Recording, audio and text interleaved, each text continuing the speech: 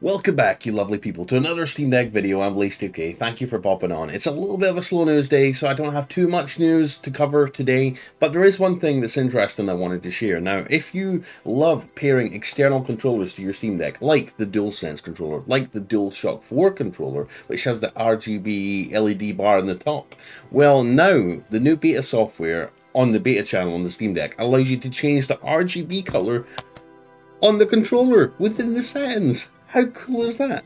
Now, these are little tweaks that Valve implements every now and again. Like, they just go above and beyond.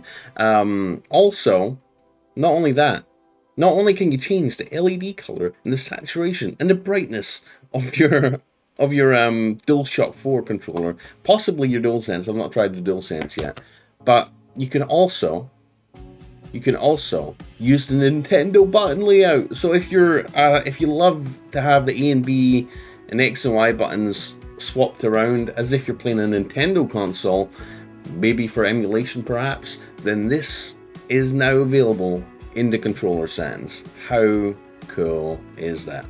Um, it's just a little toggle. You go in there, go into the controller settings, and then there should be an option on the beta software. Pro it'll probably be in one of the stable releases at some point. Um, but you go into controller settings, and then there should be that little toggle that says use Nintendo button layout, and boom, A and B are swapped, and the X and Y buttons are swapped also. Valve, you're absolutely killing it. So there we go, just a little small tidbit um, that I thought I'd share, because um, in case you didn't know, um, it's always good. I like to be on the beta, the beta software channel, um, just to have the bleeding edge, the latest and greatest updates when they come out, when they're first pushed out. Um, and these are two nice little additions that I, that I really appreciate. You know, they're they're really adding a lot of polish to the Steam Deck, and I love it. I really love it. Um, I'm gonna have to get my DualShock 4 out to give this a test myself.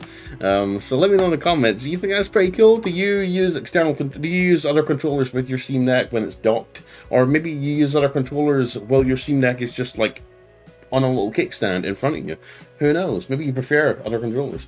Um, any, anyways, let me know in the comments, guys. I'm Blaze2k. Please like, subscribe, click the bell icon for more Steam Deck content every single day on this channel. It might be day, there might be days like today where I don't have much to cover, and um, I'll cover other subjects like tech and gaming.